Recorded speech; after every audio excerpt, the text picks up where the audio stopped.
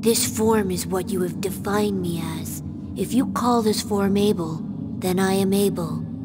You're U-DO, aren't you? I am just one of the ways that U-DO is perceived. U-DO wants to know. Know what? About the wills that desire a dissipating world. Everything about you.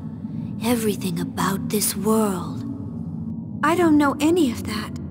Shion, are you feeling pain right now? Is pain a method to recognize yourself? Why do you all seek pain? I don't know. I don't know either. You don't know. I don't know as well. No matter how much you hurt yourselves, no matter how much you hurt others, it won't make you feel better. So why? Shion, why do you exist in this world?